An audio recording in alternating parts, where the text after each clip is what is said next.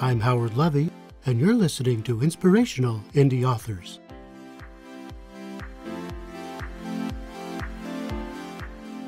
I'm a writer, editor, and multimedia manager for the Alliance of Independent Authors, and every week I interview a member of ALLi who has done something remarkable and inspiring.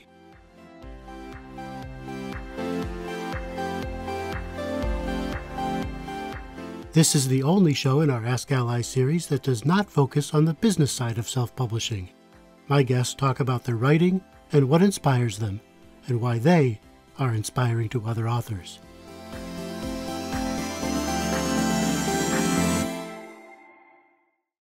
Today's guest is Rohan Quine, author of The Beasts of Electra Drive, which was a 2018 finalist for the Independent Author Network Book of the Year Awards with themes of magic realism, technology, horror, and LGBTQ characters, it is both a genre and gender bending indie book. Here's how Rohan describes the multiple personalities genre order within his books. Hello, nice to be on this show. Thank you, Howard. Uh, yes, um, my name is Rohan Quine, and I am a novelist, and it is literary fiction with a touch of magical realism and a dusting of horror. And that sounds complicated, but it's very simple from inside. The complexity comes from retrospectively applying or finding labels to apply. But that is it. In its DNA, it's very much literary, but um, it also happily wears genre credentials on its sleeve, which are, um, as I say, magical magical realism and horror too. Um, when we say magical realism, I suppose it's not necessarily the classic South American kind. That label has been zeroed in upon originally by a friend of mine, actually, rather than by me. She identified it for me. I was very grateful. Um, she said magical realism. So Rohan retrospectively finds labels to apply. That means he just writes, and he does not really concern himself with categories. This is one advantage to indie publishing, of course. A traditional publisher would probably want him to just pick one. After having spoken to Rohan, I can see why he would not want to play that game. In conversation, he can seem a little unconventional, even a little untamed. Thoughts pour out of him as a way of vocalizing internal dialogues in fully realized sentences. This is the way he writes, and it is also why he writes? Well, um, it is the one medium in which I stand, I believe, a chance of doing a decent job of um, making that artistic use of a life. Uh, we're not here for long, are we? None of us is here for long. Um, we only come by but once, etc. So um, I am absolutely um, intent upon making the most unique, the most rich, the most resonant use of this little journey through this strange, dubiously designed planet as I can. If you haven't guessed it already from Rohan's expressive voice, he is also an actor. In fact, he was a fairly accomplished one in New York and had some small parts in films whose names you'd recognize.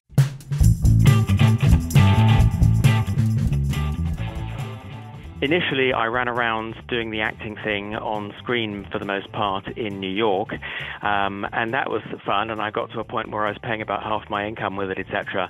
But then when I came back to the UK, I thought, which I did because I had to for visa reasons. Um, then I thought, you know what? I'm not going to um, go back up to where I'd got to with all that, that because it's a completely different market. I'm going to go back and do what I really should be doing. I've always known I really should be doing uh, where my actual abilities lie.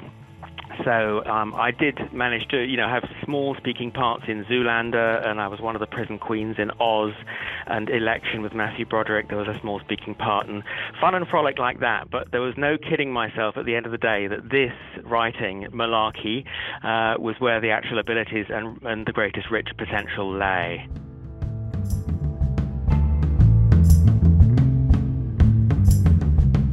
So it was back to London for Rohan, where he continued his writing career.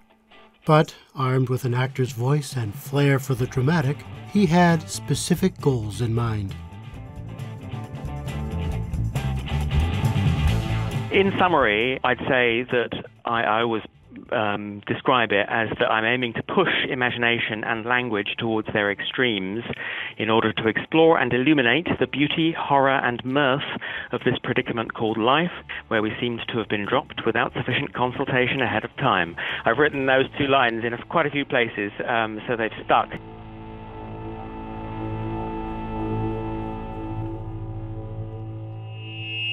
Rohan breaks his mission down into three guidelines. My first guideline is how can I illuminate the world to the best of my finite abilities, using language in new and old ways, and thereby leave the world infinitesimally better than it was beforehand. That's the first thing, and that's a very serious mission, uh, leading to lots of fun, but there's a serious flame at the middle of it. The second thing is how can I aim and attune my ears as clearly as possible to whatever the highest artistic potential may be, then bring down the richest results from that place and then give those results the truest and most beautiful form I can possibly create. And then finally, uh, more specifically dark here, how can what I write take an honest account of the darkness and pain in the world while at the same time being a vote for life and maybe even an absolute blast of fun along the way? As we know, most good science fiction may be set in a techno utopia or dystopian future, but it's really all about humanity and sometimes an allegory for contemporary issues. Not many writers openly admit that technology is just a device, except Rohan, of course, who is not an ordinary science fiction writer. As for the technology, that uh, likewise is essentially a device because I'm not at the end of the day terribly interested in technology, nor will I say, uh, nor um, I can say, does technology um, loom very large as such. I've never played a video game in my life, but my protagonist is posited as being a game designer, and that's all you need to know. He does. We, you know, I never spell out how he does it. I, I deliberately say absolutely nothing about the software. Um, in fact, one reviewer said it's interesting. We've not learned anything about how he makes these games, and I thought, yes, thank you. That was deliberate. And this reviewer then went on to say um, it's almost as if Jamie, the game designer, the protagonist of the Beast of Electra Drive codes by metaphor, which is rather sweet. So it is a, the, his game design is a device by which I can do what I always do in all these titles, which is to plunge um, into a deep delve, a red hot pirouette into the most primal and magical feelings within ourselves.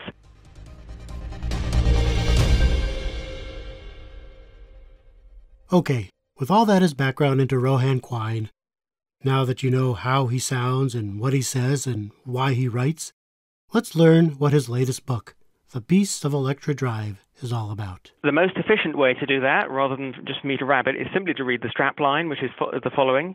It says, From Hollywood Hills mansions and Century City towers to South Central motels and the Oceanside refinery, the Beasts of Electra Drive spans a mythic LA, following seven spectacular characters, or beasts, from games designer Jamie's game worlds.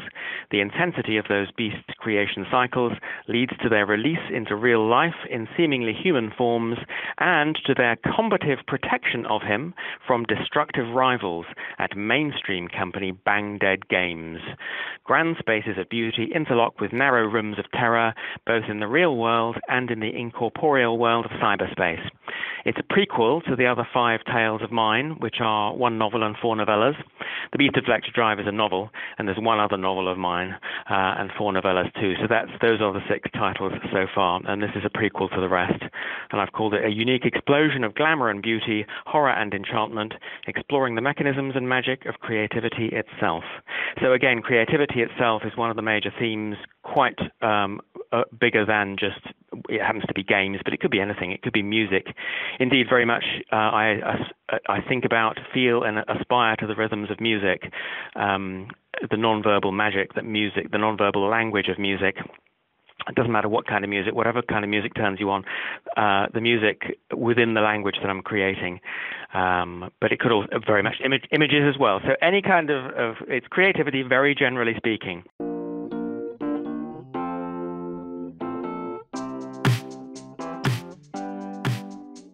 And the story of Rohan Quine would not be complete without also including another integral part of who he is, and that is gender fluid and this gender fluidity shows up in his work not as token characters, but integrated into his stories. There are characters that are very much inhabiting the side of me. I, there's a, character called Shagem, um, based on somebody I once met in Malaysia, um, who in The Beast of Electra Drive. He's also, by the way, in The Imagination Thief as well, totally the same character.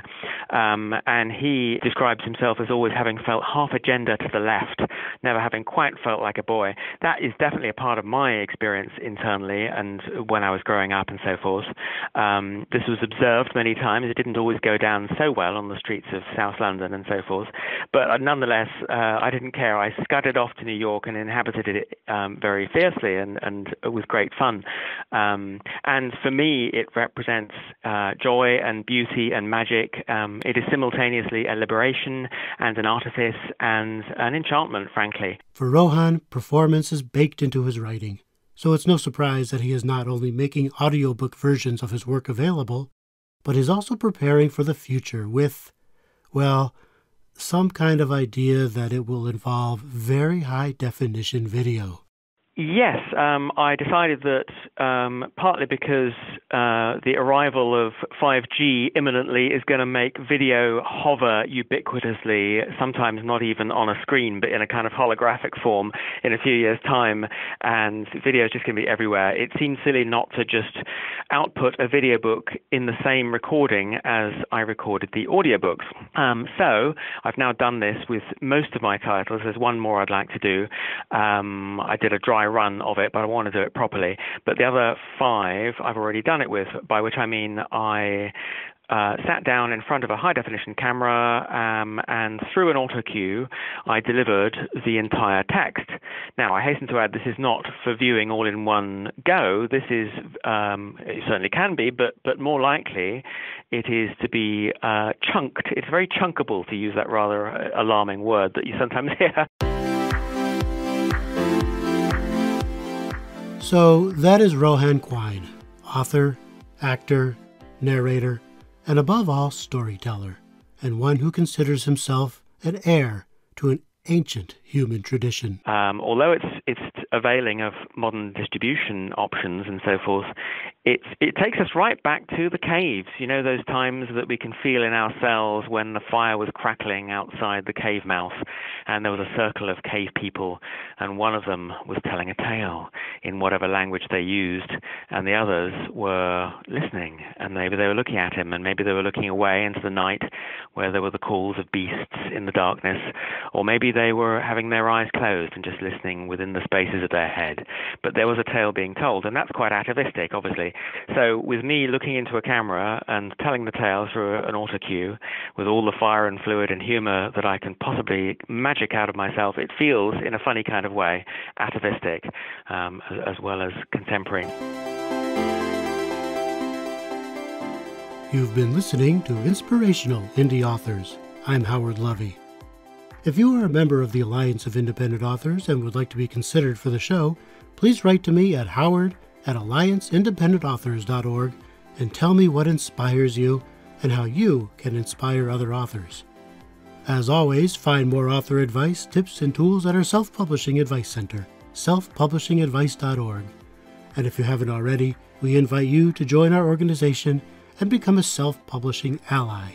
You can do that at allianceindependentauthors.org. Now, what are you waiting for? Go write and publish.